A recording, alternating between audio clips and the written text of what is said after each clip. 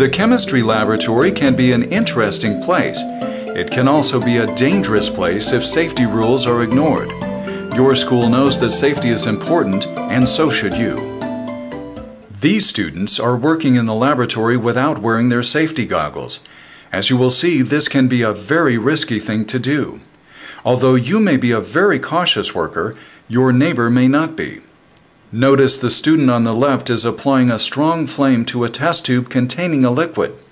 Because the test tube is not being heated evenly and gently, and is also being carelessly held, the contents can easily be bumped from the test tube, perhaps into a neighbor's eyes. It is critical to get the victim to the eye wash station or a sink immediately. Because the eyes must be flushed thoroughly, it is necessary to keep the eyes pried open you should report the incident to your instructor immediately. An open flame should never be present in the laboratory when flammable liquids are nearby. Such liquids can easily catch fire or even explode. A moment's carelessness is all that is required for a fire to start. If the fire should start in a glass container such as a beaker, put a solid object over the opening of the beaker.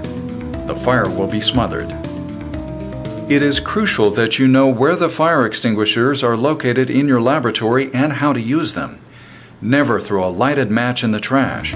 Should a fire break out, don't stand around and watch, but go immediately to the fire extinguisher, pull the pin out that keeps the trigger locked, remove the horn, aim it at the base of the fire, and squeeze the trigger slowly to avoid blasting the gas from the extinguisher.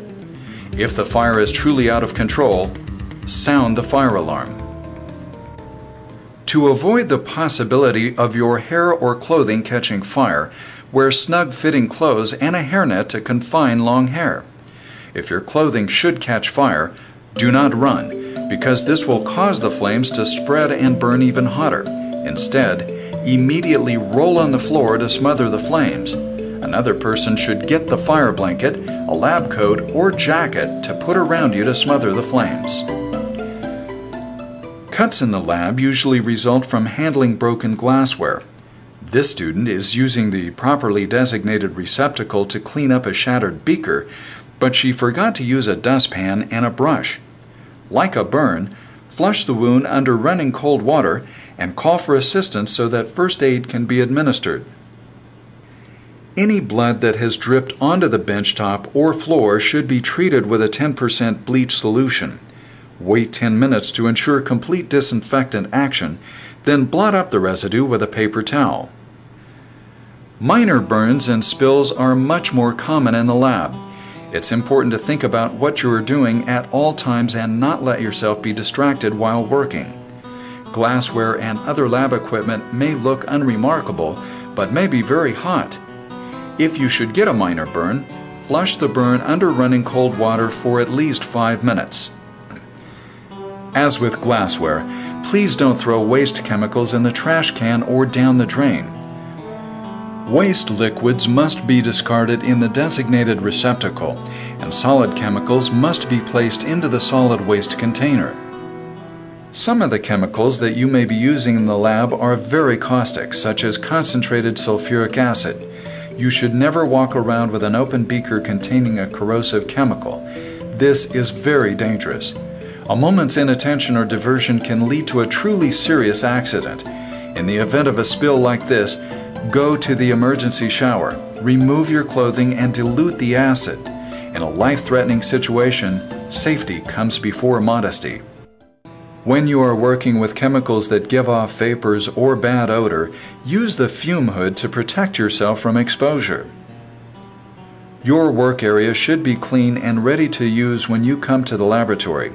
If it is not, clean the area before you start to work.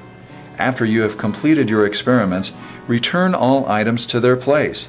Wash all glassware and wipe down your benchtop before leaving the laboratory. Common areas, such as around the balances, must also be cleaned up.